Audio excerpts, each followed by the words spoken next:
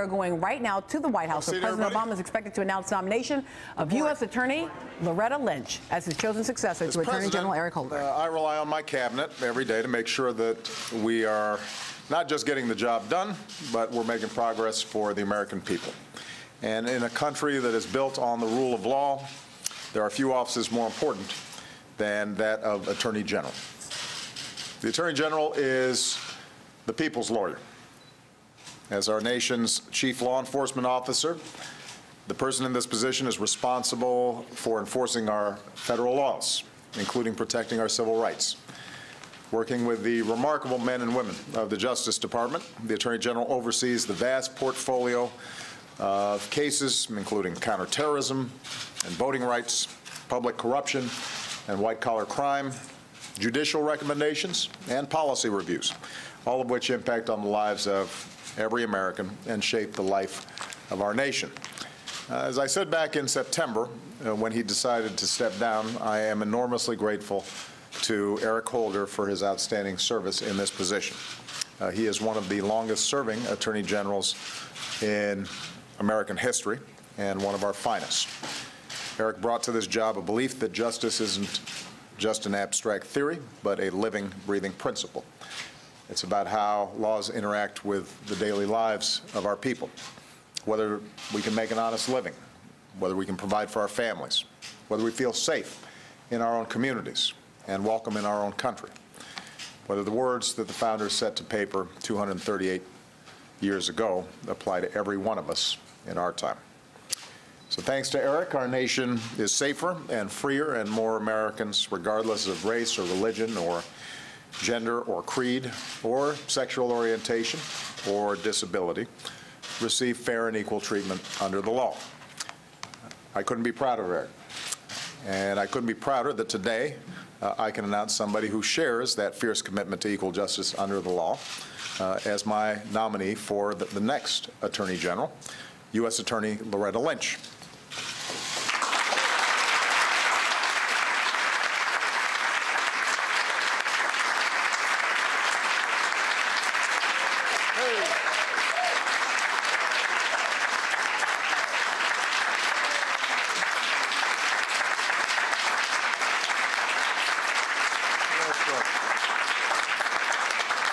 I also, by the way, want to thank the chair of the Senate Judiciary Committee, Patrick Leahy, for being here on a Saturday to show his support. Um,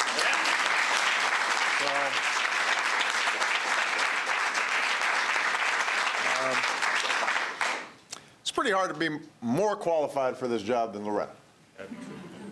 Uh, Throughout her 30-year career, uh, she has distinguished herself as tough, as fair, uh, an independent lawyer who has twice headed one of the most prominent U.S. attorney's offices in the country. She has spent years in the trenches as a prosecutor, aggressively fighting terrorism, financial fraud, cybercrime, all while vigorously defending civil rights. Uh, a graduate of Harvard College and Harvard Law School, Loretta rose from Assistant U.S. Attorney in the Eastern District of New York to Chief of the Long Island Office, Chief Assistant U.S. Attorney, and U.S. Attorney. She successfully prosecuted the terrorists who plotted the bomb, uh, uh, plotted to bomb the Federal Reserve Bank and the New York City subway. She has boldly gone after public corruption, bringing charges against public officials in both parties. She's helped secure billions in settlements from some of the world's biggest banks accused of fraud and jailed some of New York's most violent and notorious mobsters and gang members.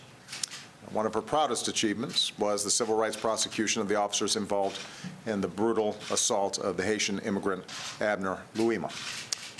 Loretta might be the only lawyer in America who battles mobsters and drug lords and terrorists and still has the reputation for being a charming people person. Huh.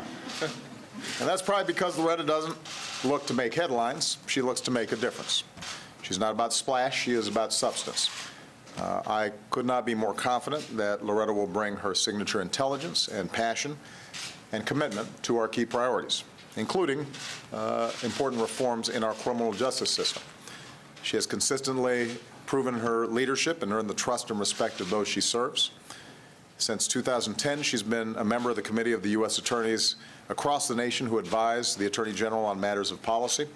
and she has served as chair of that committee since 2013. So it's no wonder that the Senate unanimously confirmed her to be the head of the U.S. Attorney's Office in two separate situations, uh, once under President Clinton and once under my administration. Uh, And it's my hope that the Senate will confirm her a third time without delay.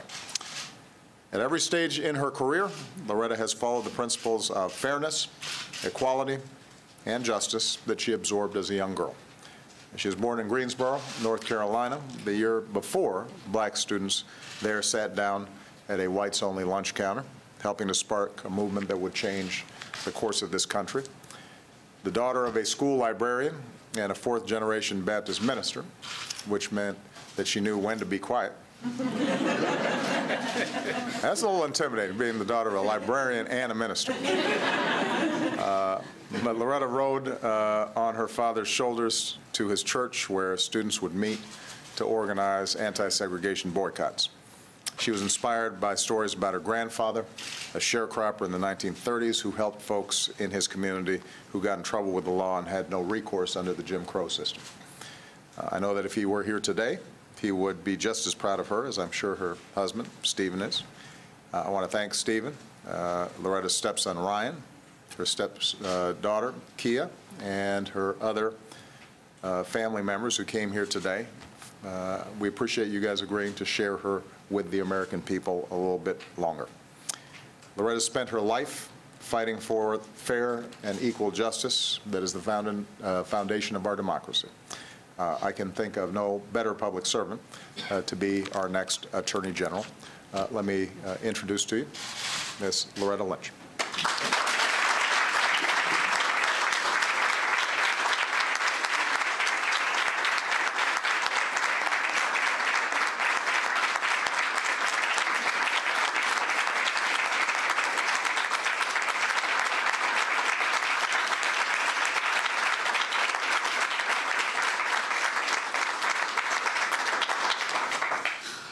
Thank you, everyone. And thank you, first of all, Mr. President, for that kind introduction. But most importantly, thank you also for your faith in me in asking me to succeed an Attorney General whom I admire and to lead the department that I love. Now, no one gets to this place, this room, this podium, this moment by themselves. I also must thank Attorney General Eric Holder for your support and your friendship over the years, as well as by leading by example and always, always pushing this department to live up to its name. And I want to thank Chairman Leahy, senior officials of the Department of Justice, and members of the Cabinet for being here today.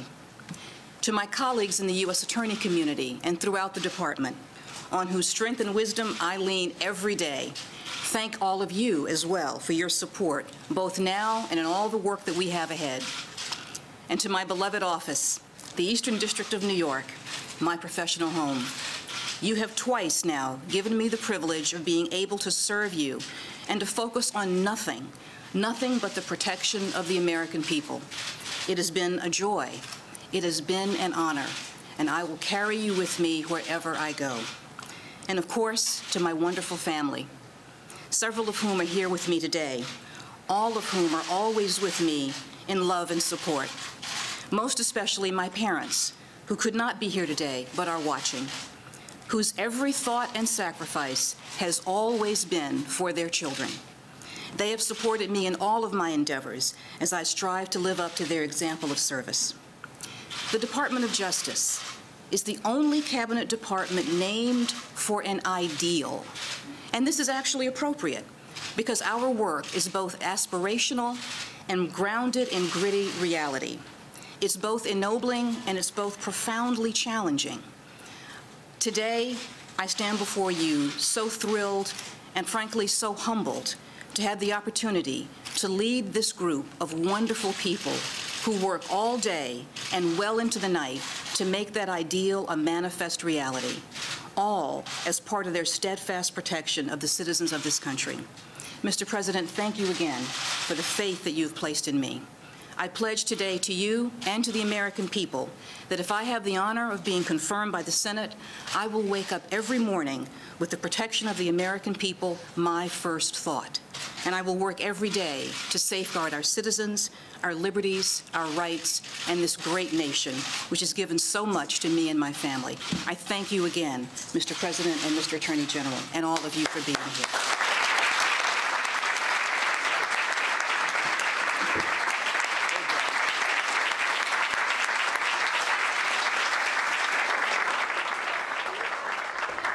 Americans from North Korea today? Uh, Well, I think uh, it's a wonderful day for them and their families. Uh, Obviously, we're very grateful uh, for their safe return, and uh, I appreciate uh, Director Clapper uh, doing a great job uh, on uh, what was obviously a challenging mission. All right?